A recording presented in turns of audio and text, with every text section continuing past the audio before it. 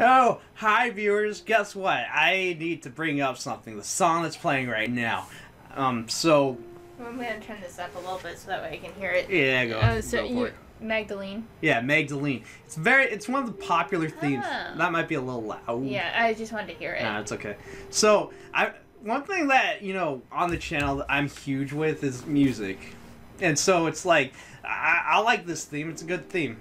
Also, I need that key in order to leave. So you know this is one of the most iconic scenes. It has the beautiful piano piece that everyone pretty much recognizes if you're huge into video game music and you you know you know the Silent Hill tracks.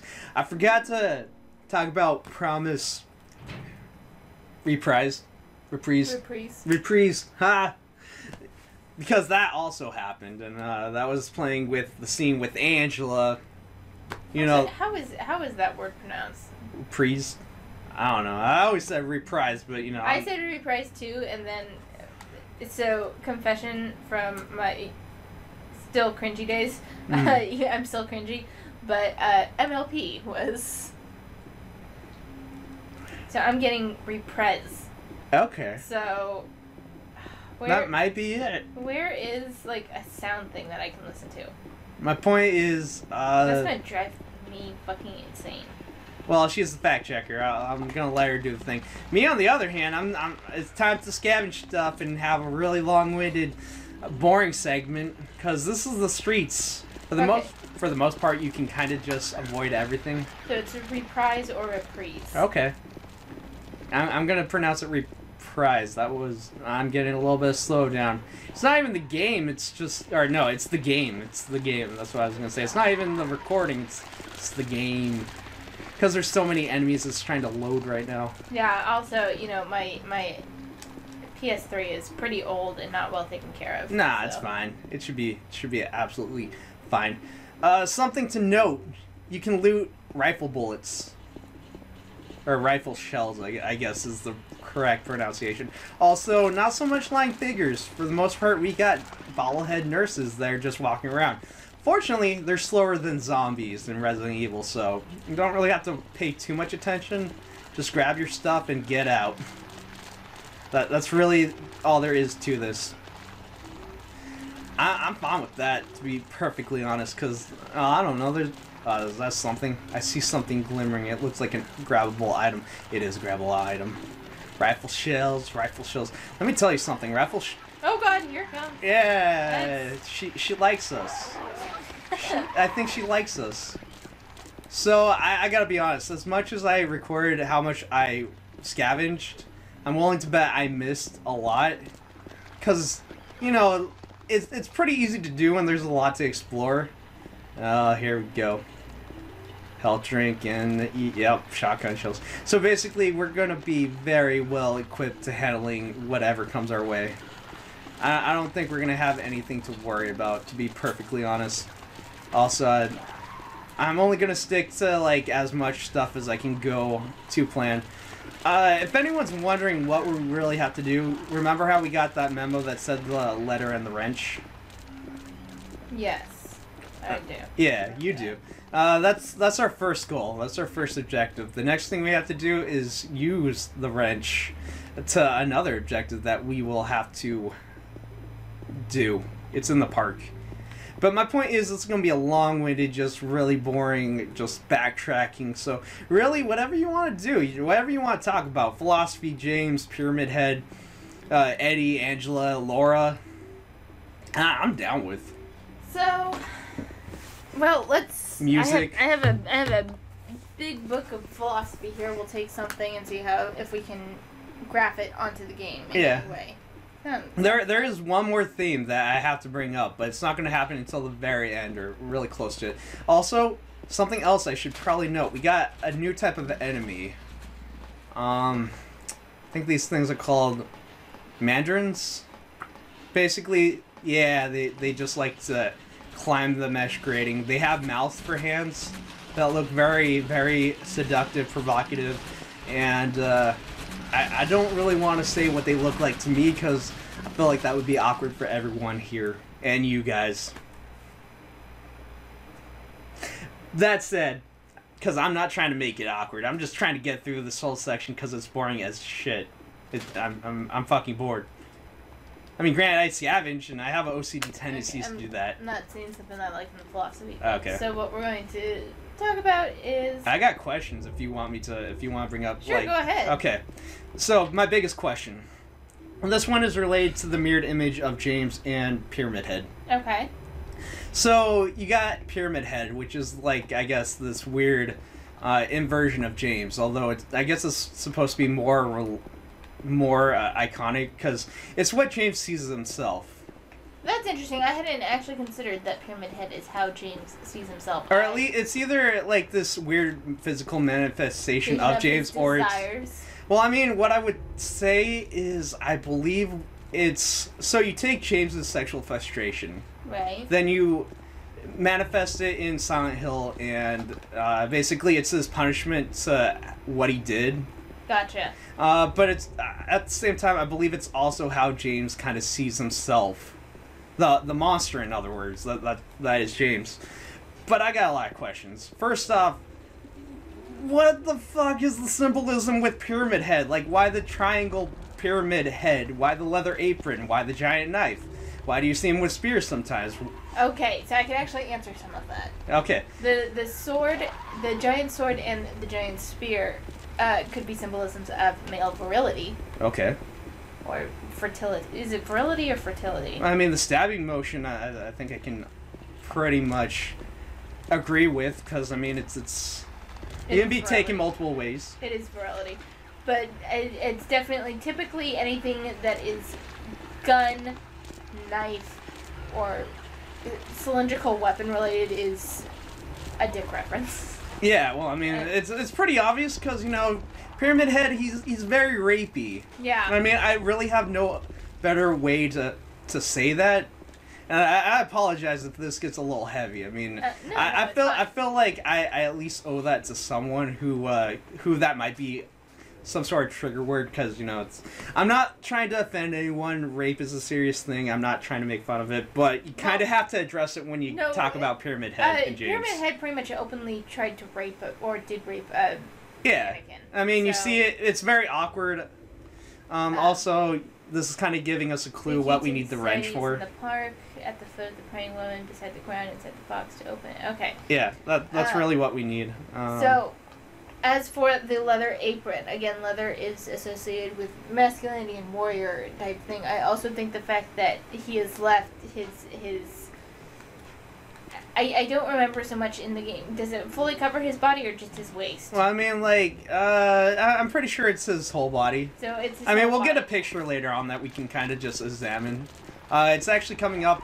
It'll probably be in the next part. Um, for the triangle head, so that one is twofold. One, you have it disguising his identity, which kind of shows that James likes to think of that d- dark side of him as an other.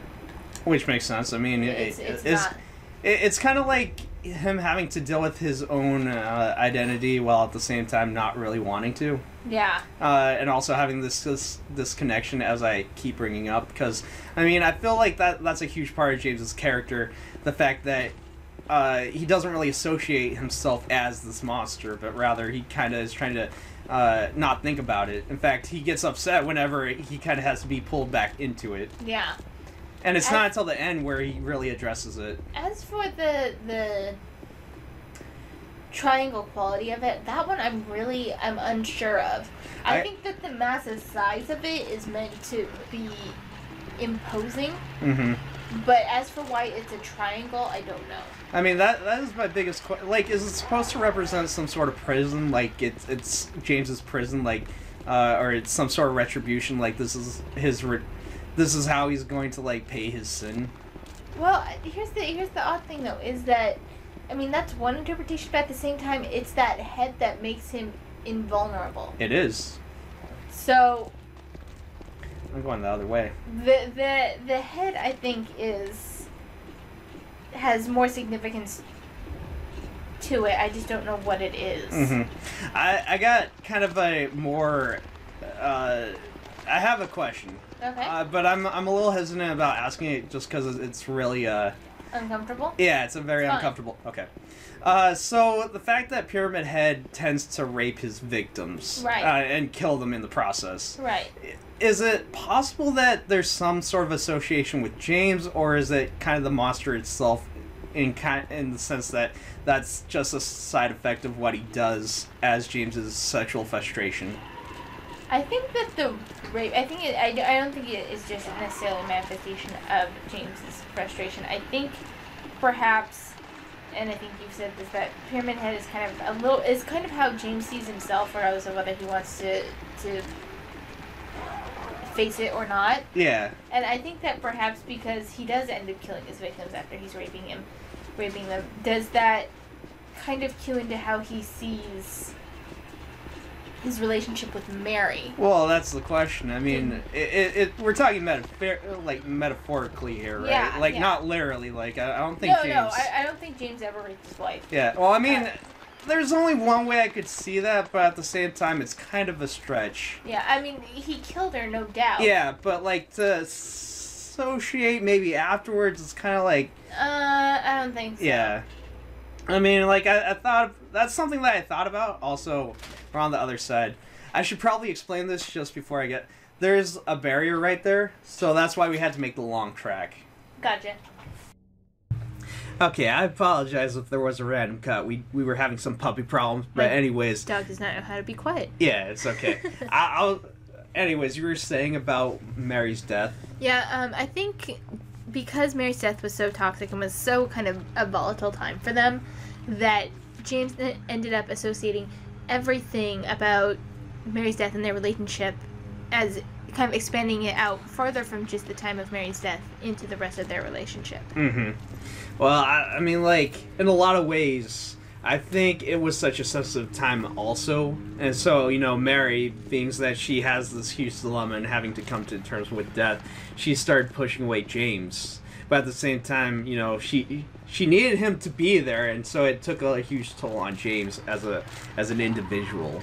I think yeah, I definitely think there was some some uh oh what's the word? Some difficulty balancing the two between her not wanting uh him to see her because she was in such a horrible place. Yeah, and she also kind of like had a lot. she she took a huge uh, self esteem dive and saw herself as like you know gross and ugly. Yeah. She's like, I'm a monster. But the thing is, like James, he became sexually frustrated because of this. Actually, no, I think there's also something to be said. Well, no, Silent Hill is a manifestation of James. But also, I think that given that Mary is super. Not Mary, uh, Maria is super provocative. Mhm. That, that could say something to Mary's um, insecurity about herself as well. Yeah, well, there is one thing I have to bring up, but we'll we'll cover that later, uh, much later, because you know this this part, like, what is this eight nine? Uh, it doesn't matter. Point is, uh, Maria Maria is kind of an interesting character. Not so much in this game, but like later on, she she like there's this one part that's kind of interesting. I'll get to that later. Not the point. Point is, you know, James. James is like a sexually frustrated character, and it's like I never really understood it until like I played the game all the way through, and like there's little hints in there, and I feel like as we play it, we'll kind of understand that. Yeah, I actually almost think that the game could be said for him trying to find a balance between his rational side and his more um, instinct driven side, Mhm. possibly. Anyways, so not to cut it short, but at the same time, like I, I feel like we kind of covered James pretty pretty well in a lot of this.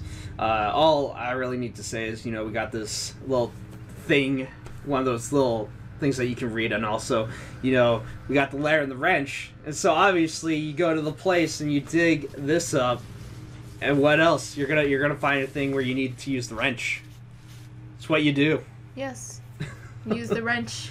Also, I think I think we're gonna end it off pretty quickly because you know we did it. This this part is like kind of running a little bit long. It's kind of going to the place.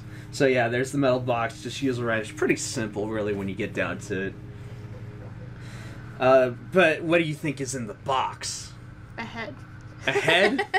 Well, now that would be a twist, but no, it's it's a key because we gotta go to the historical society because that's what it says in the walkthrough. I mean, um, my, my thoughts in the that I wrote I did not look at a walkthrough. I swear to God, I, I did this blind. No one believes me. Also, it says right there. See, uh, uh, uh, uh, yeah, A head would have been more interesting though. but how would he make you get into the historical society? It shrieks and shatters everything. it breaks the door. It says the magic word. yes. Yeah. Okay. It's a haunted head. Yeah. All right. Well, uh, next time, the historical society, baby. Yeah.